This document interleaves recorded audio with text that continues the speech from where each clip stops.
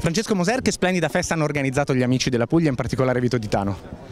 Sì, hanno organizzato questo campionato nazionale e soprattutto hanno avuto anche un tempo favoloso perché sembra quasi primavera, siamo in inverno ma eh, il ciclocross normalmente si fa anche col freddo, ho corso ancora anche con la neve, quei pochi che ho fatto. Ecco.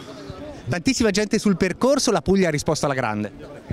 Sì, beh, è un percorso molto bello qui in questo stadio e poi di fuori c'è un, un, terreno vario dove ci sono questi ostacoli, c'è la terra, gli ostacoli, insomma, e, e penso che per il ciclocross vada bene così, con l'asciutto poi certamente è molto più veloce.